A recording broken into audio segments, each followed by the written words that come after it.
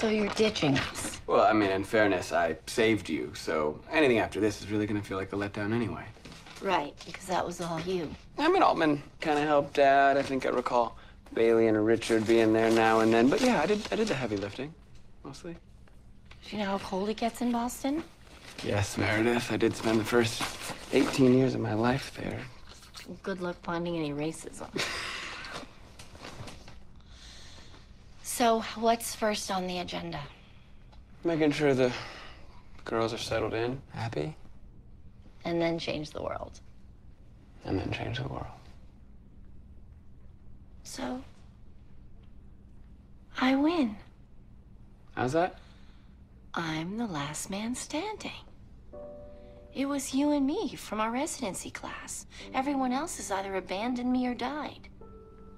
We were the only two left. You think they're giving out a medal for that? I could. I could stick around. They probably should because it sucks. yeah.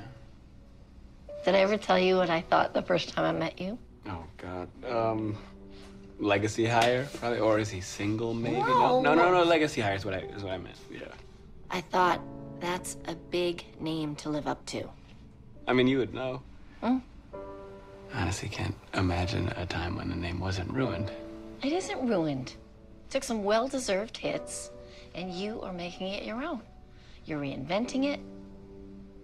I'm impressed. Well, don't give up hope. There's still plenty of time for you to make something of your life, kid. Okay, now you can go.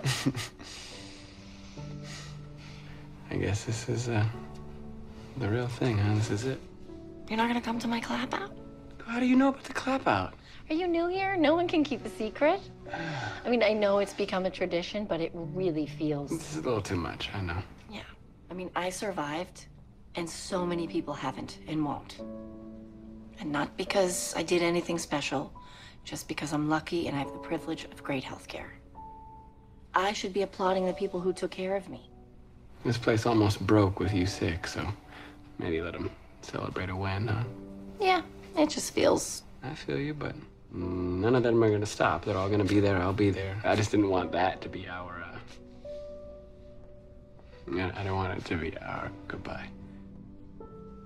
I don't want this to be our big goodbye.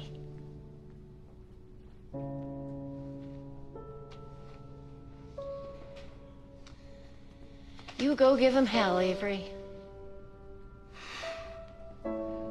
Thanks for showing me how.